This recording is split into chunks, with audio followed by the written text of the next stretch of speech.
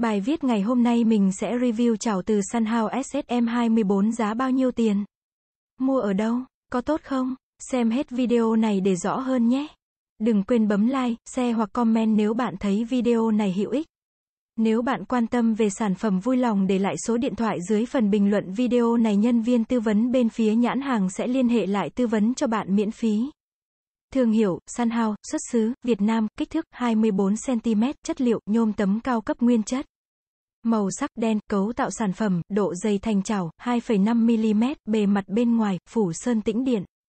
Lòng chảo, tráng ba lớp chống dính Whitford, USA, vung chảo, không có tay cầm, làm từ nhựa chịu nhiệt siêu bền. Đáy từ có, đặc điểm nổi bật, làm từ nhôm tấm có độ dày 2,5mm, kích thước chảo lớn.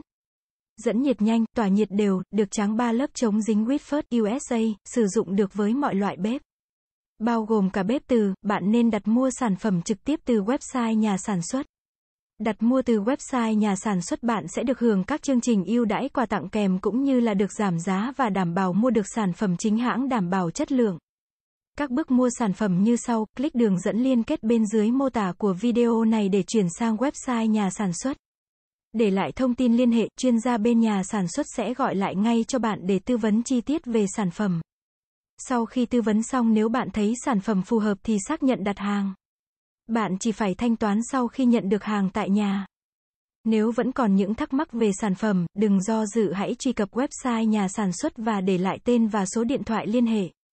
Nhân viên tư vấn sẽ trao đổi giúp bạn giải đáp mọi thắc mắc về sản phẩm. Lưu ý, hiện nay trên thị trường có rất nhiều sản phẩm làm giả kém chất lượng.